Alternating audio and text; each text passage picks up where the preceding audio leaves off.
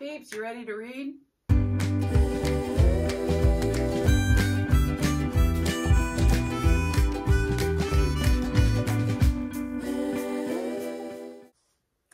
This is written by Aaron Lynham. The verse for today is Psalms 96, 1 and 2. Oh, sing to the Lord a new song. Sing to the Lord all the earth. Sing to the Lord, Bless his name, tell of his salvation from day to day. It was their color that stopped me, and their song that kept me. The world felt heavy that day. Hard stories permeated the news, and my own life felt uncertain and shaky. Their melody seemed to lift the weight, even if only for a few minutes. Cotton from the trees they sat on floated about and tickled my legs. The choir of the goldfinches flitted from one tree to the next, adding to one another's chorus. Behind them, the still water of the pond seemed to echo and amplify their melodies. In the lift and fall of their chorus, I found respite. The songs of creation, a gentle yet powerful reminder of the Creator who is making all things new. A faithful Father who has overcome this broken world.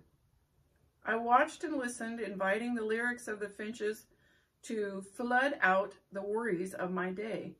I considered the questions of Matthew 6:26. Look at the birds of the air. They neither sow nor reap nor gather into barns, and yet your heavenly Father feeds them. Are you not more valuable than they? Yes, the same loving heavenly Father who cares for these finches cares even more deeply for me and my family. If these birds, even amid a broken world, can lift a song to their maker and trust him for protection and provisions, so can I.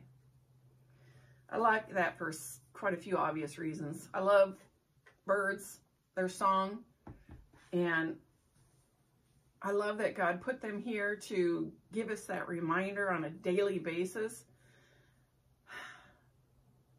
and I also love that he knew we would need stuff like that to get us through on our work days and our fun days and all days. Stuff to remind us of his love and to keep us uplifted and do a better job at our living, right?